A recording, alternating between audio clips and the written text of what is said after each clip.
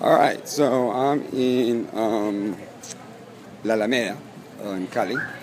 And La Alameda in Cali is where the old Central Market is. Now, this is not La Boqueria in Barcelona. This is this is raw. There's no other way to explain it.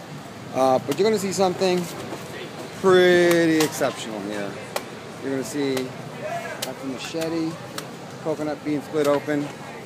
Um, look at the avocados. Um, more coconuts. Leche, coco, coco, ¿A cuánto el, el coco rallado? Ahora vengo por él, voy a buscar un limoncillo. Necesito un coco rallado. Bueno, gracias. So I'm here shopping. Um, I had an amazing dinner last night. Made uh, unbelievable dishes. And then it's not only just this isn't just this isn't only just um, a market. It's also restaurants, and these are authentic um, hole in the walls.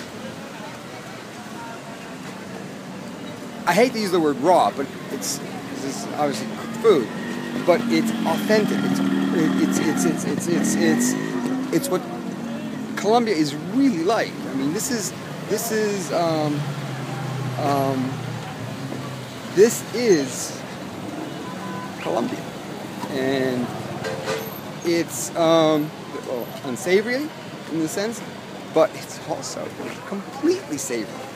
I mean, what you're gonna eat here is some of the world's best food, and Anthony Bourdain discovered that when he came down to Colombia.